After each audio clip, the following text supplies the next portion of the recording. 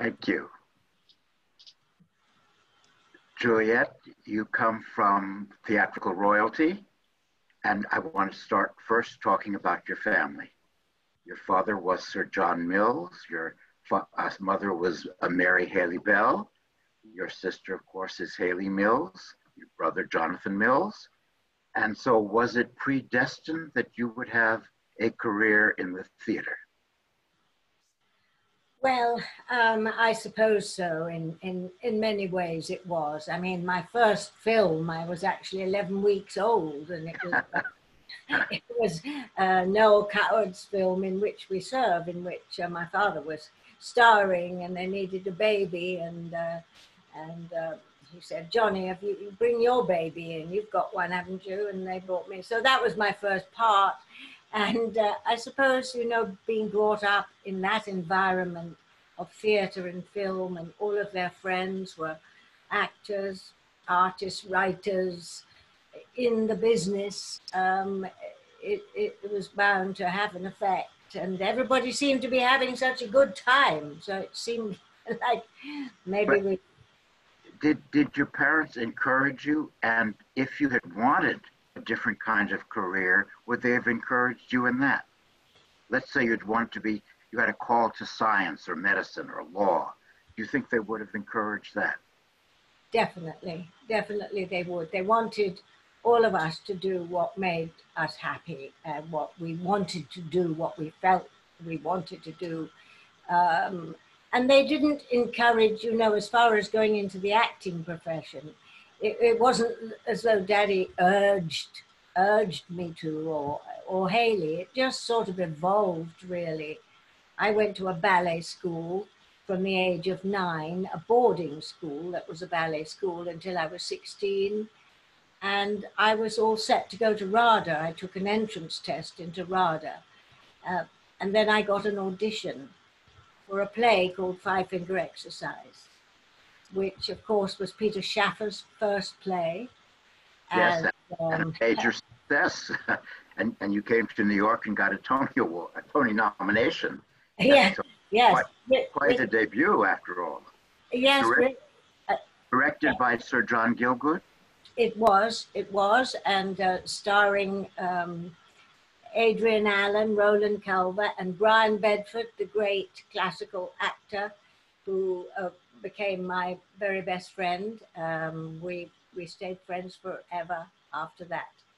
And it was an extraordinary experience, of course, for, you know, a 16 year old working with those amazing people and to be directed by Sir John Gielgud. That was uh, very exciting for me. After that, you really couldn't go back to school, I don't think. That was too heady an experience. well, you know, Five Finger Exercise went on for so long. I mean, yes. we did it for in England over a year and then came to New York and did it for six months. So it was, uh, it, it was like, like John Gielgud said to me, he said, it's, this is your national service. He says, you're, because it gets very difficult to do a play for that long very, very challenging because, uh, you know, you start to, uh, your mind begins to wander. You can't concentrate. You know the play so well that you can almost say it like robot, you know, and your mind can wander. And that's when you, you, you dry up and lose your way. And that did happen to all of us at some point in that how did you keep, How did you keep it fresh for such a long run?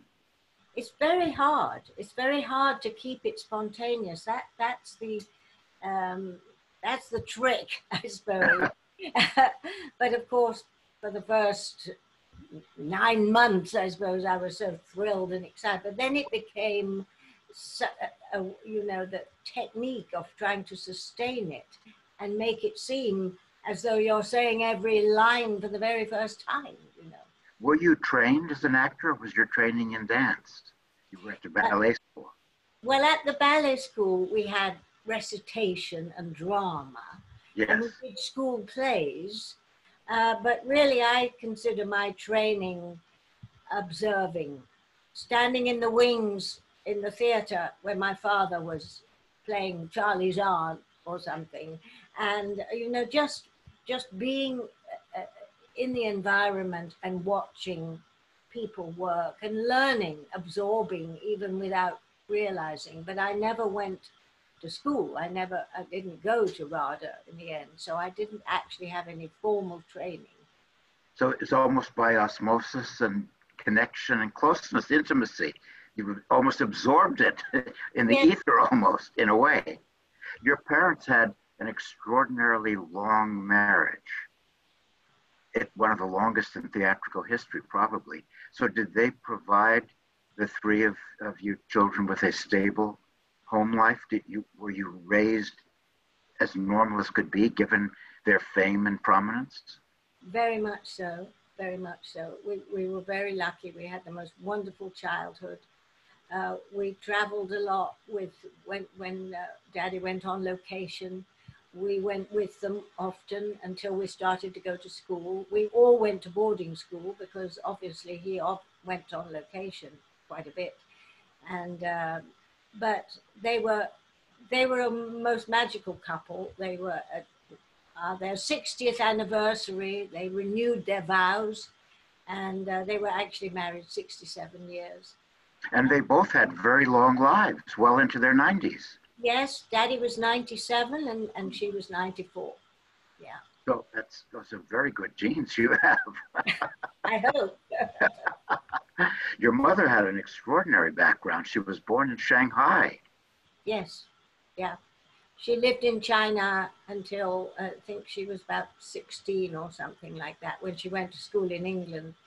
And of course, that meant a six week journey on a boat to get in, to England. It didn't just fly over, you know, it was quite. Um, and so she was brought up in China, and it was a big family. And her father was a very important man. He was the head of customs in uh, in Shanghai, and um, they lived a very wonderful life. And she always had a great fondness for for China. And she and she was a playwright and a novelist as well as an actress. Yes, she was. She was a very successful playwright early on. She wrote plays for dad. She, she was an actress and she gave up acting when she married my father and had me and became a writer. And she wrote a number of plays for him. And uh, during the, um, well, during the war and all through those years uh, into the 50s, she wrote several very, very successful plays, but they were always, there was always a wonderful part for Johnny. when your father appeared in films, did you become a student of his work? Is it fair to say that? Did you see everything that he did? He had an extraordinarily long career. His first film is 1932. His last film is 2004. It's one of the longest careers on record. Yes, yes. I, I mean, extraordinary. He never, he never stopped working. You never no. stopped working. That's what runs in the family. Did and, and he did a lot of theater in between, you know. In between. yeah. Did you did see every, everything that he did? Yes, pretty much. I mean, uh, I missed some of his the- theatrical performances simply because uh, I would be working. But otherwise, I, I, saw everything. Not those early movies. I mean, I caught up with them later, but uh, the qu- quota quickie, the quota quickies. Yeah. Yeah. but, but, then, of course, he was in Great Expectations. We were talking before. He did five films with David Lean. Yes. That's more than any other actor worked with the great David Lean, I believe. That's a record. It is. It is. Yeah. A lot of actors, although they loved working with David, they didn't love it that much to want to work with him again because he was a quite a taskmaster, you know and all his movies went over as far as time and budget. And for instance, Ryan's Daughter, I mean, that was 14 months, that film. Oh my goodness. Well, but he was so meticulous, wasn't he? And yes. such a perfectionist. Absolutely. Had done over and over and over again. Was your father amused that he got an Academy Award for a part in which he said nothing? yes, that was uh, that was a great thrill for him that he got that uh, that award, um, that the Oscar for his supporting performance in Ryan's Daughter. And David Lean sent him a telegram. Oh, shows how long ago it was. Nobody sends telegrams anymore. But anyway, and it said, uh, he said, congratulations, Johnny, at last, at last, Tunes of Glory. Because uh, David always thought that Tunes of Glory was one of my father's very best performances. Indeed, it was. And, and your father was the star in what many people consider the greatest British comedy ever made, The Wrong Box. Yes, yes, right. Yeah with Sir Ralph Richardson. Yes, indeed, indeed. Now, after you, now we'll now we'll focus on your first. You're in so many different media, theater, films, and TV. We'll take in, in, order. We'll start with theater. So you start with Five Finger Exercise, but then um, you come back to Broadway in a show called Alfie. Yes. And it becomes a hit movie, but it doesn't work on the stage. Well, it, it, worked on the stage in England, but at that time in New York, um, they just didn't understand the Cockney. It was very broad Cockney. Terry Stamp was Alfie, and very brilliant he was too. And it was a wonderful production, but a lot of, they didn't get it. They didn't, couldn't understand it. Some of the, the rhythm and the humor and you know, it's different now. It, it, it's very much easier to cross the Atlantic now. But then it, with those very strong accents, like for instance Liverpool, Liverpool, they didn't understand it. So I think that was really why it didn't run. I don't know how long it ran, but but it, it was uh, it wasn't a success. No. But it, but it was a good production. You felt it was. It you was, did a, well, did a good job with the material. Well, it was a lovely play, wonderful play. Yeah. And in, in London in the 60s, you have wonderful classical credits. And Shakespeare, you were Midsummer Night's Dream, directed by Sir Peter Hall. She Stoops to Conquer, a Lady Windermere's Fan, and I think was it designed by uh, Cecil Beaton, production yes. designed by Cecil Beaton. Yes, yes. Did you enjoy doing classical theater? Very, very much. Yes, yes, I did. It was a great thrill to work with Peter Hall at the Royal Shakespeare Company. Um, and uh, I loved playing Titania. Uh, of course, She Stoops to Conquer was, is a wonderful restoration comedy, and I was working opposite Tom Courtenay, and um, that was a that was a that ran for about ten months in London. Really, really, yeah. And then Lady Windermere's fan. Um, yeah, that was that was Coral Browne and Wilfrid Hyde White, uh, and uh, and Cecil Beaton designed it. Designed the most extraordinary costumes for that. I've, I've never worn anything so. They were absolutely beautiful. Lady Windermere was dressed to the nines, I can tell you. but even after you had a very successful television career, you always wanted to return to the theater. Yes. You've yes. never stopped doing theater, really. No, no. Never. That's where that's where I recharge my batteries. Is going back to the theater. And if I'm away from it too long, I, I really miss it. And uh, I love I love the terror uh, of it, and I love the you know the audience, the live energy, exchange of energy with the audience. How you know if you're if you're if you've got them and you make them laugh or you make them cry or they start coughing, you know you haven't got them. uh, no, I, I, the theatre is always, always what I go back to and where I have the most fun and where I learn the most too. And and the idea of repeating the show was still a challenge, or you you haven't had runs of of a, well, a I mean, year or longer. Yeah, I've never. Uh, uh I suppose, well, She Stoops to Conquer was almost a year, um, but um, uh, I've never had a, another run of the play contract, which they don't even do anymore, uh, as I did in Five Fingers. So I think really, a, for me, an ideal run is about four or five months, where you are, you you, you get it, you, you know, you perfect the performance. You learn every time you do it; it gets better. Um, but after that, it's really just a question of trying to sustain it, sustain it as, as, as at its best.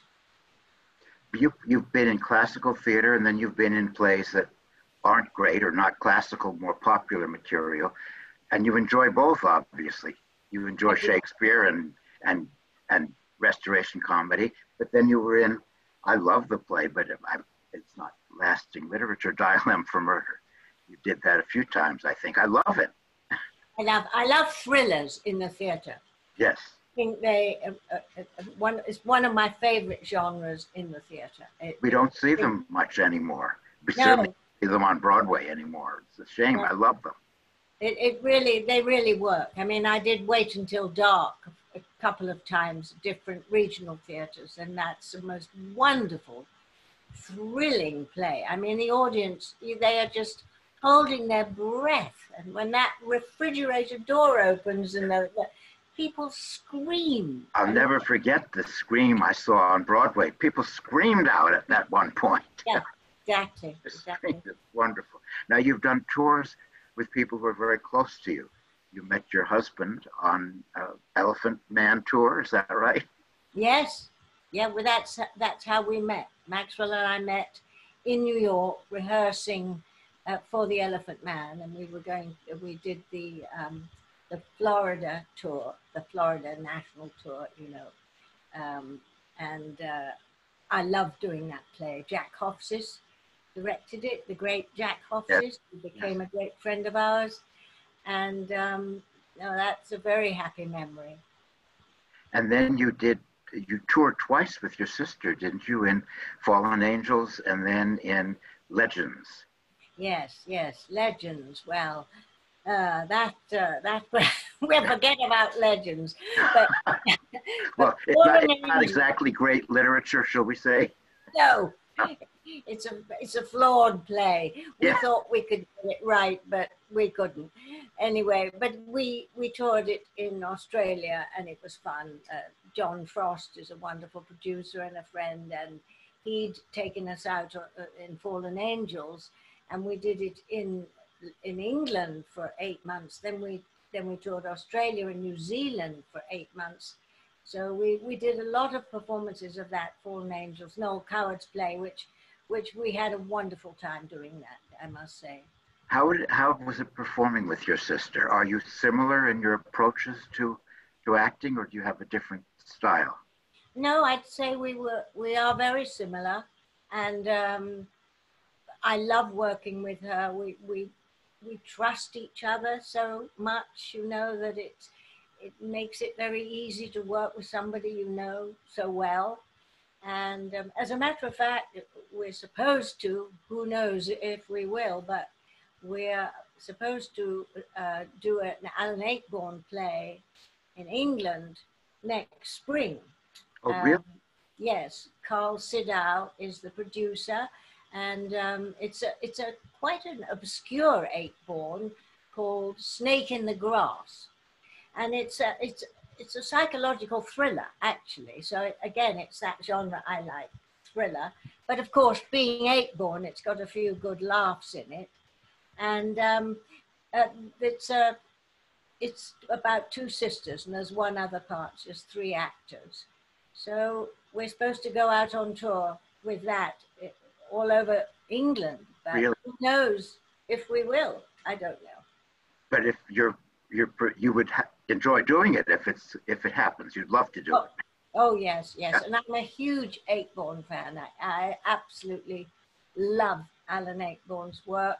I actually went up one season and worked with him personally in uh, Scarborough, you know, where he has his theatre, yeah. the Stephen Joseph Theatre and I was there for eight months in the summer um, doing actually another thriller called It Could Be Any One of Us, a play which had three different endings, which was absolutely terrifying because you couldn't sometimes you couldn't remember which it was going to be, and you didn't actually know what the ending would be.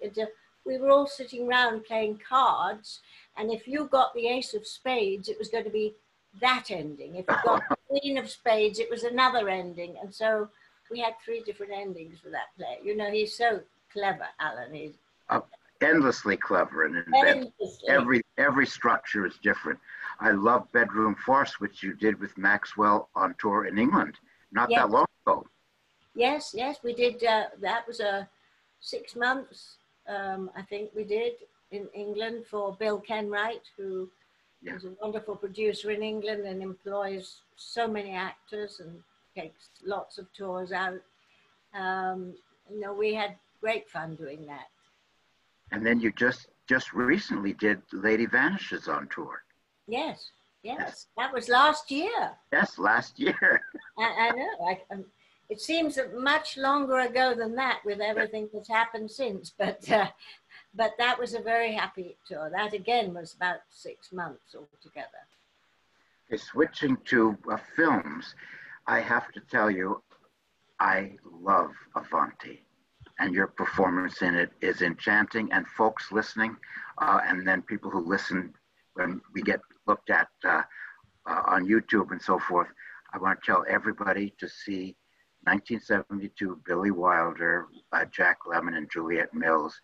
It's an enchanting film, and your performance is charming, beyond charming. And the film just isn't as well known as it should be. And it didn't have the success that it deserved. Did you feel it was underrated? Oh, it's definitely. still underrated. It's still underrated. Yeah, it's it's a sort of a cult movie now. It's surprising, you know, people have seen it and, and appreciate it. But it, but when it was released, it, it was a flop. I mean, it, you know, Billy always said that it, that it was time that the critics decided to sort of have a go at him. You know, when somebody's very, very successful and, you know, gets 10 out of 10 every time, suddenly they decide, no, you know, we're, we're not going to applaud, we're not going to make a big fuss. And, because it, it is a good film. I'm very proud of it. And of course, it was the highlight of my career to work with those two men. The, you know, Billy Wilder, a genius, and, and, and Jack was just a great actor. And I learned so much on that film. And what I, did it, were you troubled at all that you, to play the role, you had to gain a great deal of weight? And there's so much attention paid to the woman's weight. Does that make the, can that make the material uncomfortable for some audiences? Maybe. Yes, it, I mean it did really, especially as I had to do a nude scene. Yeah. Um, but but um, you know, Billy said it was you know it wasn't exploitative. It, it was a, a very important for the film and everything, and he didn't want he, you know, when I met with him he gave me the part and he, he, he said, I wrote this for you. And uh, I just finished, I don't know what I think. Anyway, I, he said, the one thing is you have to gain 35 pounds. Can you do it?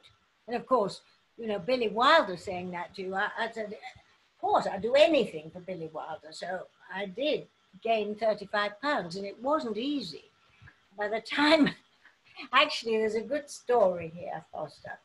Uh, I, my father was in England and I was in here in California and I, I was gaining the weight and eating three meals a day and porridge in the morning and ice cream and sodas and just I gradually put on the weight but I was still about seven pounds under when I got to England on my way to Rome where we were going to shoot the film all over Italy. And I said to Daddy, I said, "My God, I'm I, I, I, I'm seven pounds under. I promised I was going to be 35 pounds, and you know I'm only 28 pounds over." So he said, "Don't worry," he said, "I'll do this in a week. We've got a week." Carlsberg Special Brew. He and I were pissed for about a week, and I got, gained my seven pounds.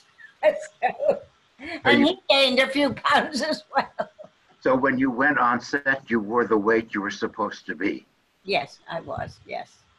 The, that character is so endearing. She's such a charming character. It's a lovely performance.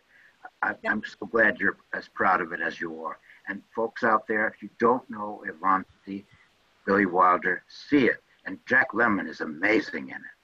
Yes, he is. He's amazing wonderful. performance. Yeah. And he, it's a it's a challenging performance because at the beginning he doesn't care if you like him, and he's not worried if you plays an unlikable character. He's not trying to charm you. No, no, not at and all. So, and so by the end, when he softens and, and really falls for this charming woman, you you respond to him all the more because he's gone somewhere. He started out sort of ornery and crabby. By yes. the end, he's been transformed by yes, yes. person. It, it, one thing that um, Billy did, which I've never um, experienced with any other director, was that he used music on the set to set a, a, an atmosphere. And um, for instance, there's a scene in a morgue um, where Jack and I are looking at the bodies of our parents. And um, he, when I came on the set in the morning, he had this music going. And because the music was playing, and we were in a chapel in uh, on the Amalfi Coast, beautiful old chapel, and uh, it, the crew were quiet. Everybody was moving around very quietly, and it set the scene and made it so much easier for us to to work, you know, instead of the usual kind of clattering and cacophony of sound, everybody chattering and uh, it, it, he used that. I suppose that was a holdover from the silent movies, really. Was he a good actor's director? Oh, wonderful, wonderful. He knew he what actor. He, he never gave you a line reading or anything, but he, but of course the dialogue was brilliant you never, you, you weren't allowed to change a, a, word. I mean, what was written was what you said and not add any ad libs or anything. Uh, but um, he was so encouraging and he made you feel very free to, to, to do your best work, I suppose. And then working opposite Jack, you know, so much of acting is reacting. And when you've got a great actor like that, you just, it, it makes it all so much easier. when Billy Wilder was known for being caustic and biting, sarcastic, was he that way on the set? I, I sounds like he wasn't at all. I never, I never saw him. Uh, I, I'm sure he could could be.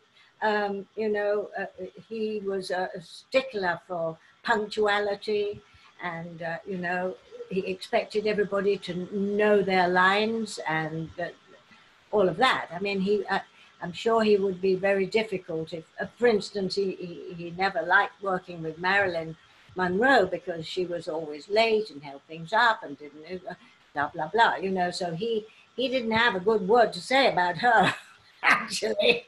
But but but uh, he did say something brilliant. Somebody said you couldn't stand working with her on Seven Year Itch, and then you hire her again for some like it hot. Were you asking for trouble? He said, Well, I'll tell you, my Aunt Tilly would come knowing her lines and be punctual, and nobody would pay to see her. Well, that's great. so he thought he thought she was brilliant, but impossible. Of course, of course, he thought she was brilliant. But you know, sometimes she kept him waiting like eight hours. yeah come out of the dressing room. You know, Billy, he was, uh, you know, Austrian, German, punctuality, discipline, and all of that. He expected everybody that was hired to do their best work and um, no dilly dallying. You're in another American film, very interesting, The Rare Breed, in which you play opposite not too shabby James Stewart. How did that happen? Because you're you're playing a British character, you and Maureen O'Hara. How did they reach you to As hear an American film? it's funny uh, because we spoke about Alfie, and uh, Boaty Boatwright, who was a casting director, saw me. She lived in New York. She saw me in Alfie, and she. That's how I got cast. I didn't do. That's how you got cast. Oh. That's how I got cast. And my father was so jealous of me. He said he'd always wanted to do a Western. And that, there am I at 22 going off and doing a Western opposite Jimmy Stewart and Maureen O'Hara and Brian Keith. I mean, it was, that was another marvelous experience. What was James Stewart like to work with?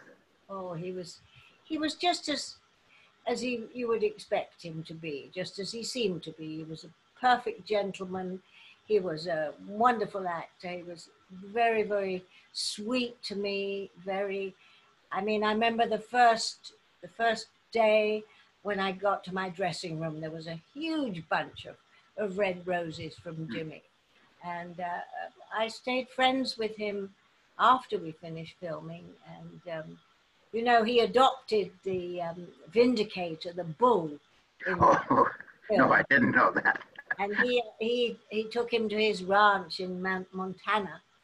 So to be sure that he, you know, he didn't end up on somebody's table, because we all got very fond of, of that bull. with with uh, James Stewart, you never saw him acting. No. Never caught him at it. No, no. Was he right. that way in rehearsals and uh, and during the takes that he didn't seem to be acting? He just seemed to be talking like a real person in that situation.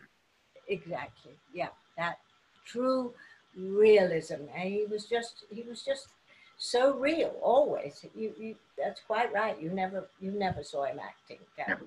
No. Now, what was Maureen O'Hara like?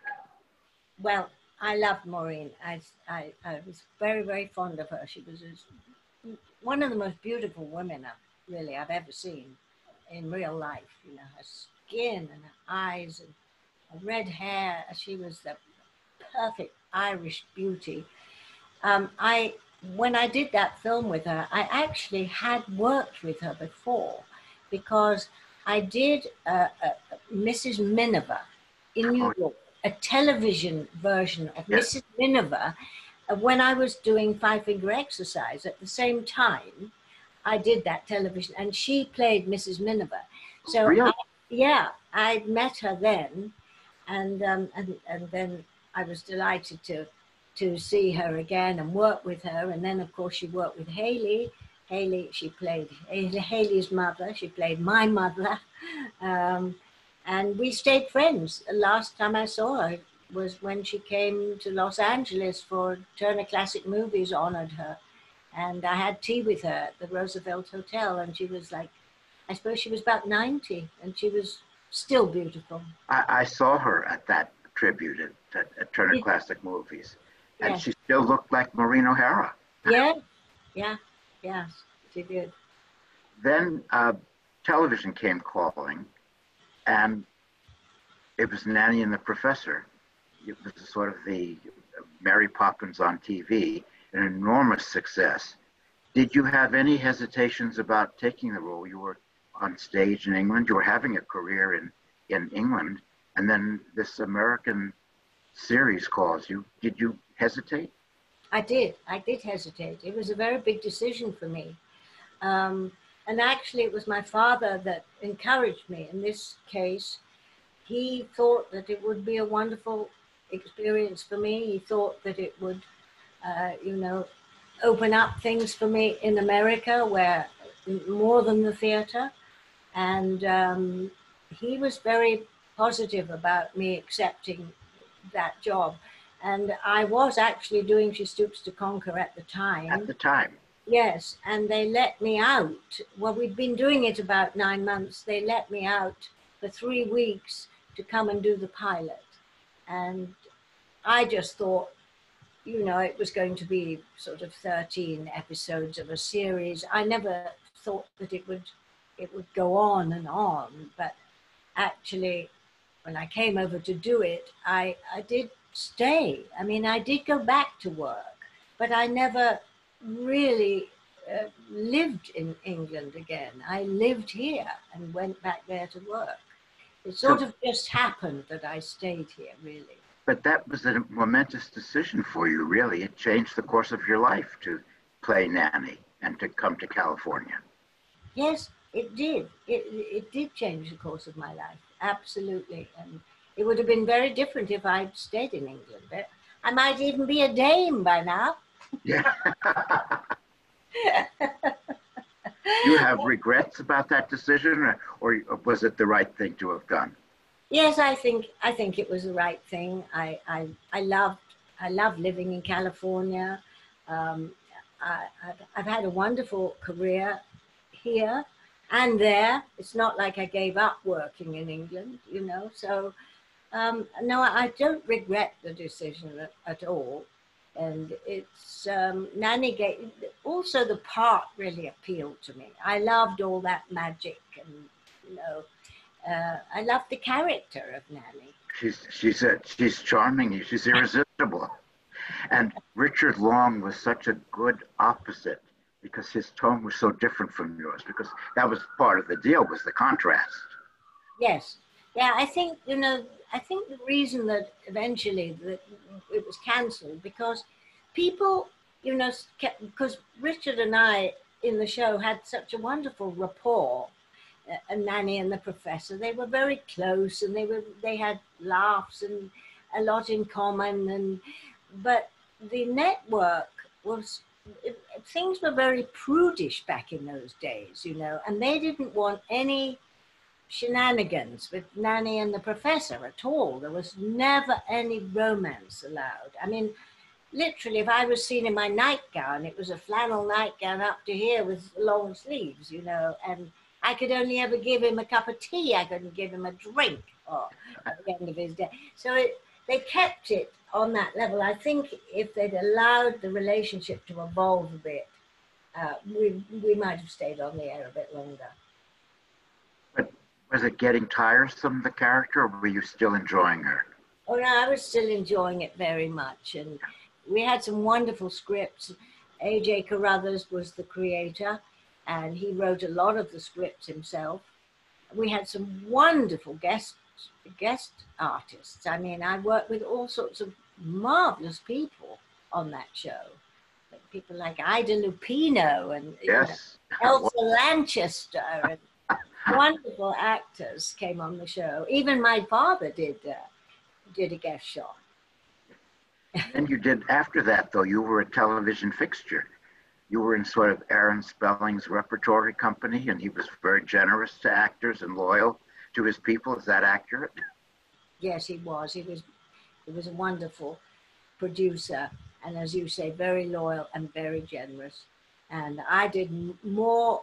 I think I did more love boats than any any other actor other than the regulars, and um, I did Hotel and Fantasy Island. You know, it was like Aaron's repertory company, and he just kept kept us all working. I mean, you know, those were the days, Foster when the script came through the door.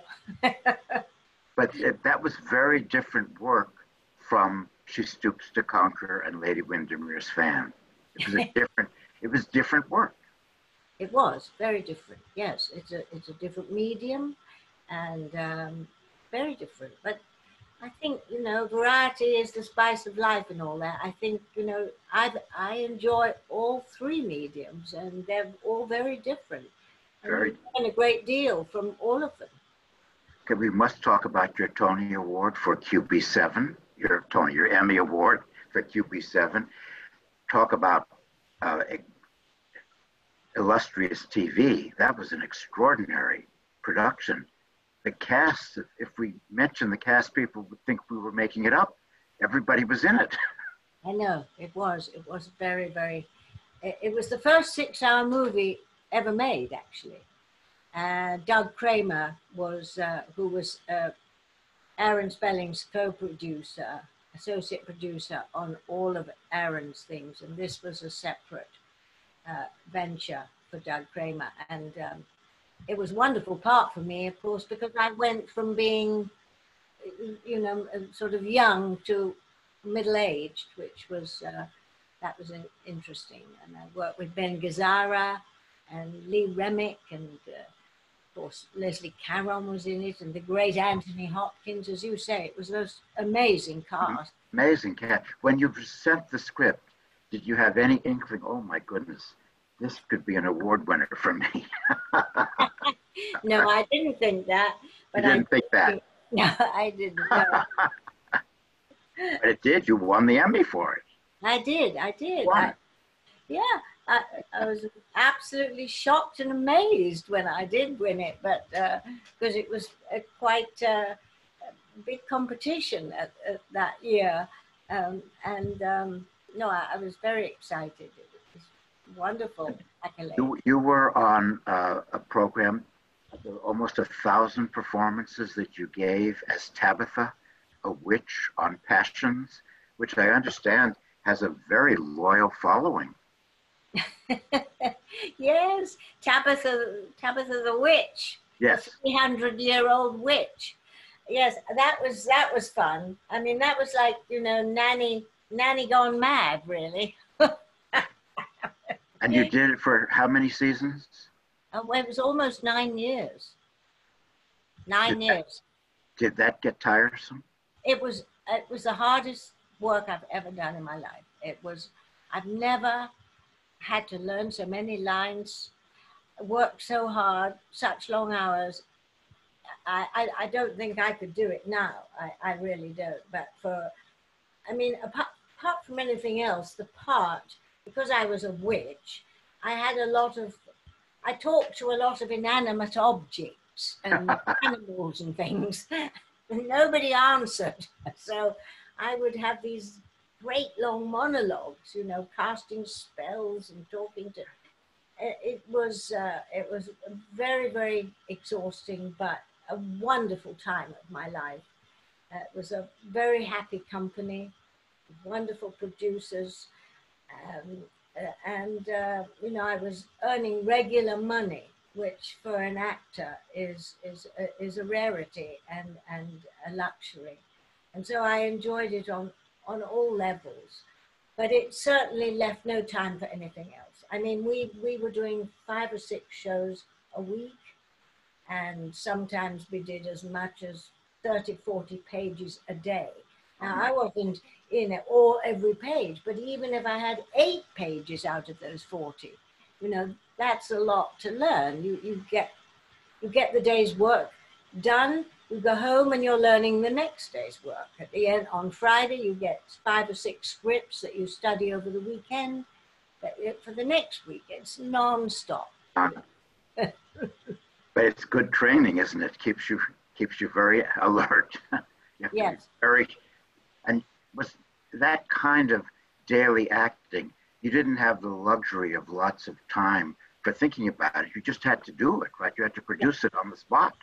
Yes yes, absolutely. Just uh, and now, of course, in that, unlike Billy Wilder's script, you could, uh, you know, uh, elaborate or, or change lines or ad lib or oh, you, you could make your own. You could because sometimes you, you just couldn't learn verbatim. You know, at the end of the week, you you've got boss-eyed. So as long as you've got general idea, get through it. I want to open the, to questions from the House, but I just have a few more points. There's so much to talk about. You have extraordinary godparents. Noel Coward, I believe, is your godfather. Is that accurate? And Vivien Leigh, your godmother. And you have a wonderful anecdote about seeing Gone with the Wind with Vivien Leigh. Please share that with us. Yes, that was when I was um, doing five finger exercise in New York and she, uh, Vivien, was doing Duel of Angels at the same time. And uh, she called me up, and I saw a lot of her during that time. Uh, actually, that's when I got to know her and uh, more as an adult than as a child. Uh, you know, growing up, she was Auntie Viv, and I used to spend time with her in her flat and in her house. And she'd open her jewel box, and I'd sit on the floor and play with her jewelry. And it was that kind of relationship, Auntie Viv. When we got to New York, we were both on Broadway. It, it evolved into more of a grown-up kind of friendship. Anyway, she called me up one day and she said, "Look, I've been asked to go and see the, the screening of uh, Gone with the Wind." She said, "It's it's some theatre in Times Square and." It hasn't been. It must have been some anniversary or something. She said it's uh, it's going to be on the you know the big screen and uh, I haven't seen it since 1930, whatever it was when she made it, 38. 1939. 39.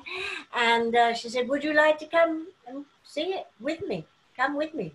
And so I sat next to Scarlett O'Hara and for four hours and watched Gone with the Wind with her, and uh, that was an unforgettable experience, I have to say.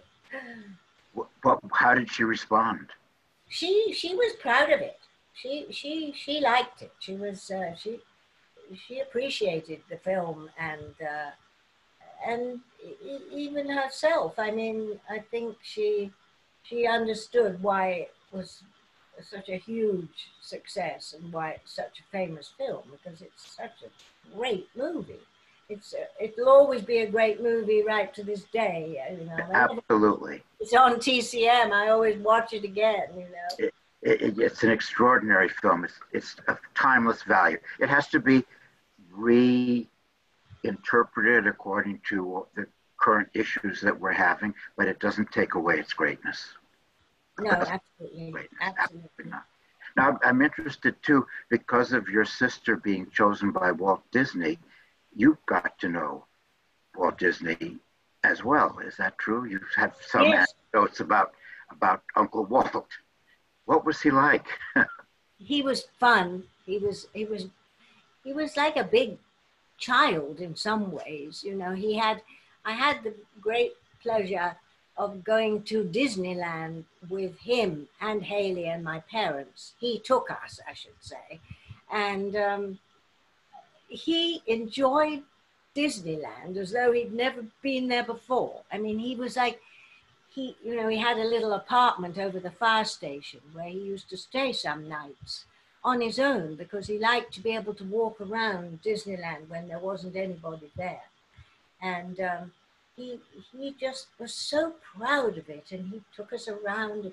I remember we were, we were, there was a big line waiting to go on something or other and he took us up to the front of the line and this guy said, wait, wait, get, get back, get back there. Who do you think you are, Walt Disney?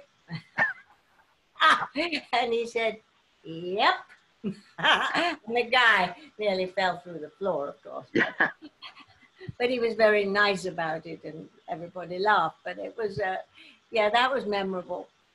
Does Hayley have good memories of working for him? Very much so. Yeah, she adored Walt. She loved him, and uh, he was very wonderful to the family. And you know, whenever they were filming, whenever she was filming, he always rented a beautiful house for them and uh, in Hollywood, and uh, it was a happy time for her. She she she really enjoyed it. How is your charming husband? He's he's charming. we know that. he's very well, and um, actually, we celebrate in December. We celebrate our fortieth wedding anniversary. Wonderful.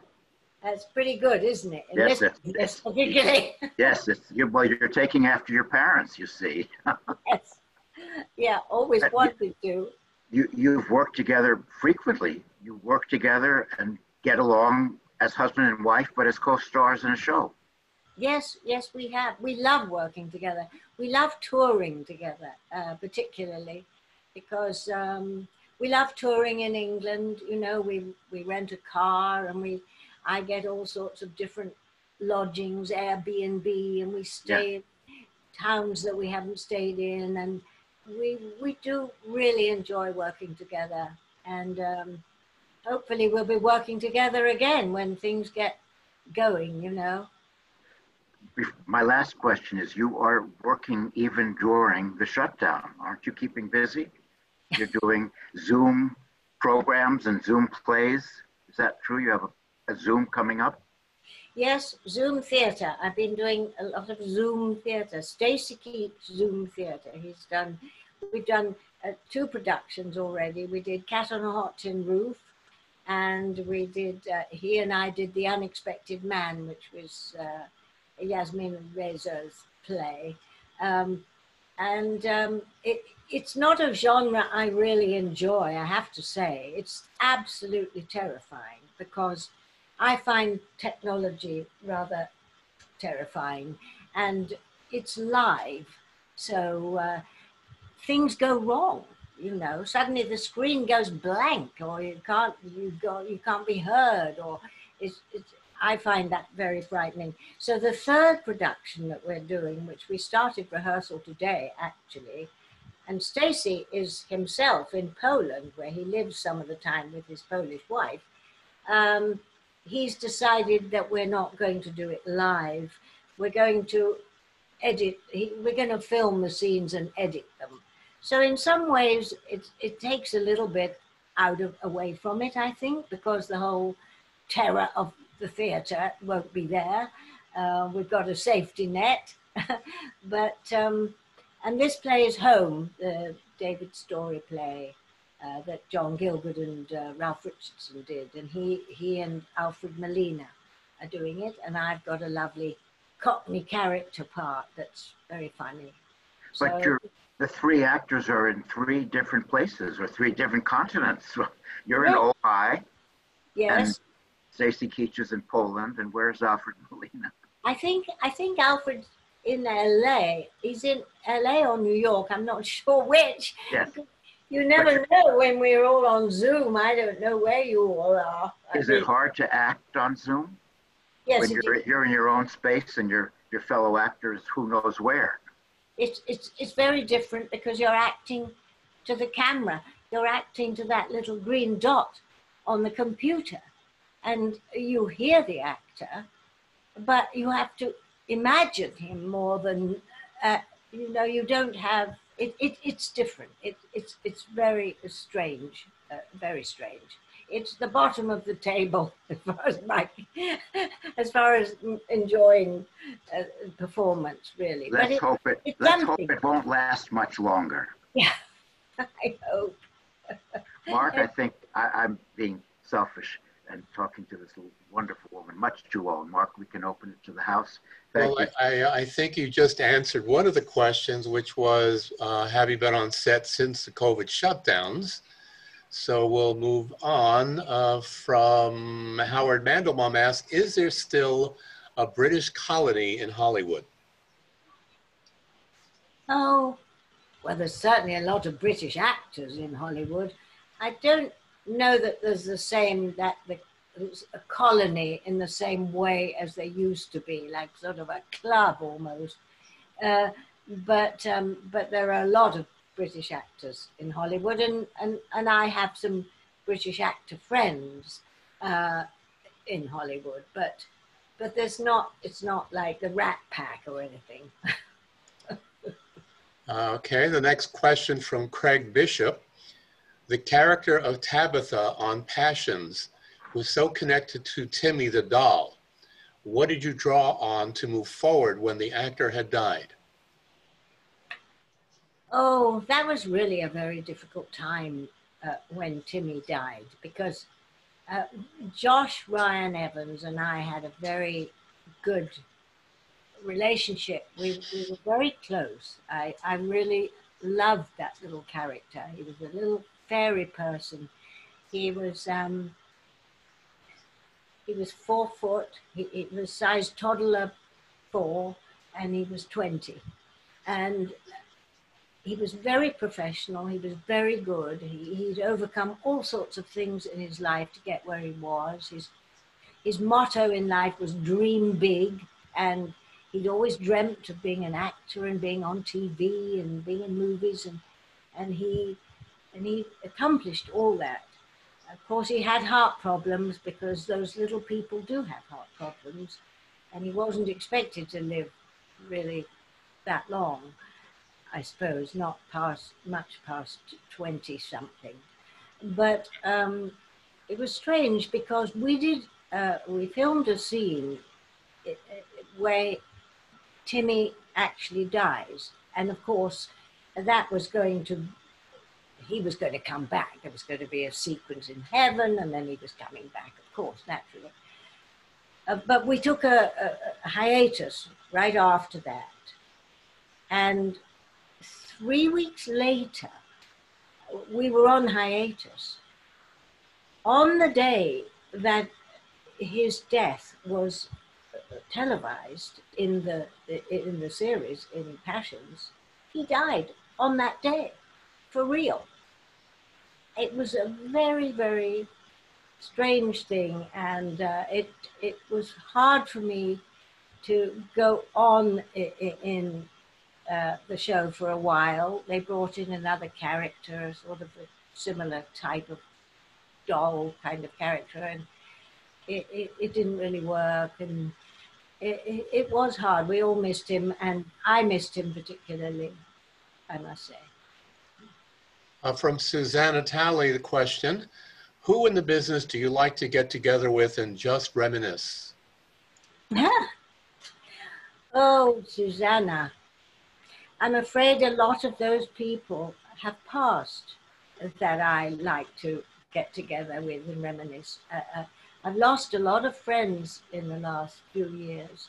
Um, a lot of people, uh, David Hedison was a, a, great, great friend of mine, and he lived here. Brian Bedford was my very best friend, uh, and he died a couple of years ago. And so uh, I've lost a lot of those people. But um, there are actors in England, um, family, of course, always, and Hayley, I always loved getting together with Hayley. Um, Bill Paxton, uh, I, I can only think of people who passed on. But there, there are other people, but um, those were, you know, Bill Paxton lived in Ojai, so we saw a lot of him. And um, um, Alan Ayckbourn is a great friend and his wife. I like to get together with them when I'm in England. And um, that's about it. All right, we have a question from Errol Rappaport. What advice would you give to somebody starting out today? Would you recommend theater, television, or movies? Well, if you're serious about being an actor, I think you should start in the theatre because it is the best training ground of all. There's no question about that. Television is more geared to kind of personality and and there are lots of traps in television acting, especially sitcom, sort of playing for laughs and all of that kind of thing, which is never really the best in comedy. You don't play for laughs. Billy Wilder taught me that. You, you, play for truth. And if it's funny, that's great. You learn that in the theatre because you have the audience to tell you.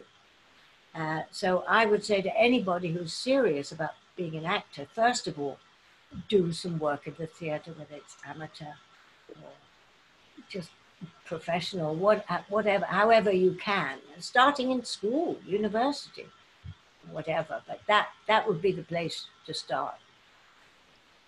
That would be my advice, yes.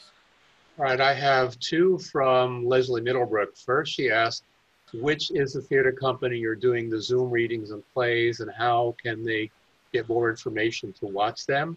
And then she asked, is your sister still in New York City? That they were neighbors for many years. Oh, yes. On Riverside Drive up there, 94th? Yes.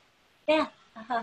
Well, uh, no, she doesn't live in New York anymore. She lives uh, back in England.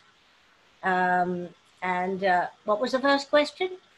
Uh, how to get hold of the Zoom play readings you're oh, oh, yes. Uh, well, the live ones, um, I don't think they publicize it very well, frankly.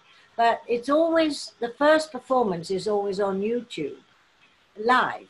So, um, although this time it's not going to be live, but this particular production coming up is uh, going to be on the 17th of October. I know that much. So you just go to YouTube and look for Stacy Keach Zoom Theatre. Um, I don't know if one can pull up any of the past uh, performances. I'm not really sure about that. As I said, I'm a dud with the technology, technological side of things. So that was the, the Stacy, Stacy Keach Zoom Theater. Yes and YouTube. And, okay. and uh, yeah, and, and definitely the 17th of October will is when we're doing. That's when the live performance of Home goes out. And Magda Katz, uh, you had a question to ask. You got to mute. Is she? She's on mute. I can't hear her. Yes, she has it on. You have to mute me. Okay, hello. I'm sorry you had to mute me. Anyway, uh, Julia, thank you so much. This, this is amazing. You're absolutely amazing. Um, I wanted. Did you ever direct? Did you ever have desire to direct? No, I I I, I have never directed except school plays, and um, I don't really have a desire to to direct. No, I like being directed. That's wonderful. Well, you know, if you let me know when the Zoom is, I could send it out to people. So I will. I, I, what I'll do is I'll send you the link. Exactly, and I'll send it out. Yeah. You might as well have this audience. Yes. exactly. I know. Absolutely. Yeah. I'd like to follow up on Magda's question. Have you ever thought about teaching? That I that I have thought about. Um, I did a seminar once up in San Francisco, and I really enjoyed it. I, I, I don't know really how to go about being a teacher, but um, I, that I would like to do. I really enjoy working with actors, and um, and I, I do have many many years of experience, uh, and uh, so that is something I have thought about actually. Yes. And maybe I should think about it more the way things are at the moment. well, if you come to New York, maybe, you know, we'll put a group together of actors, you know, at the Lambs. So just let us know when you're in New York. All right. Which would be good, great. Good idea. great, great. I'll turn it back over to Foster. Yes, hi, uh, Julia. Just two final questions. One amusing thing. Did you do an audio book recording of Valley of the Dolls? I think I did. I think I did. I've done a few audiobooks actually. You have? But yeah. how did that one get to you? I don't know. That's, I don't know. I must have put on a phony American accent. the, next thing is, is a tribute. You've had an extraordinary career, but you obviously do not believe in retiring you love your work and you're going to continue doing it, right? No retirement. No, no, I, I, I don't want to retire. I, I love working. I love acting. And uh, my, my father didn't retire. I mean, he did his last part. I think it was a Stephen Fry movie called All the, think it was called All the Bright Young Things, something like that. Anyway, Bright Young Things was in the title. He had a cameo part and he was um, supposed to be a, a coke addict. and I said to him, Daddy, how, how are you, how are you, what are you drawing on for this? I mean, you haven't had any experience with drugs. I mean, you run a mile if you see somebody smoking grass. So he said, oh, he said, I used to take snuff. So I, I, I that's what I think about, snuff.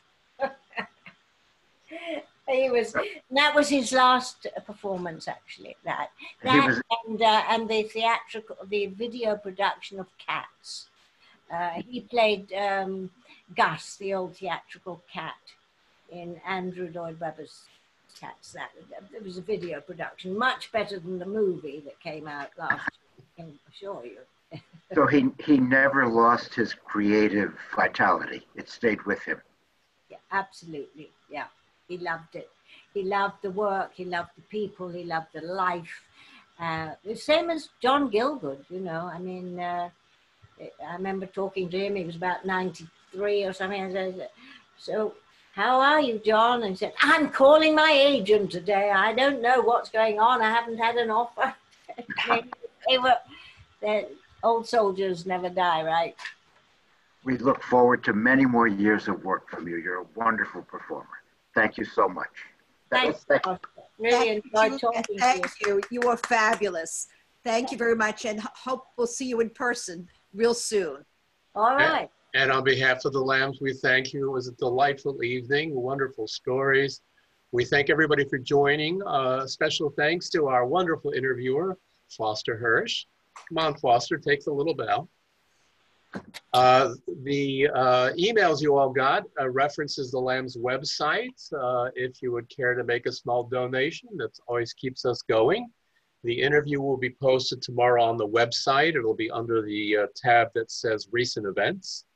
And uh, my cohort here at the Lambs Magda Katz, would you like to tell who we have coming up for our next conversation? Yes, and next week we'll have a fabulous singer, Deniece Williams and uh, you probably have heard her. She's got an incredible voice. She did a duet with Johnny Mathis that was number one, uh, Little Too Late. I'm not quite sure of the title, but anyway, she'll be fascinating. So I hope you all join us. And if for some reason you don't get any, um, you don't get the flyer, you can always reach me at magdacats at gmail.com. And thank you all for showing. And thank you so much, and thank you, Foster. Really thank enjoyed you. talking to you. Cheers, everybody. Cheers. Yeah, thank you. Bye bye. Bye.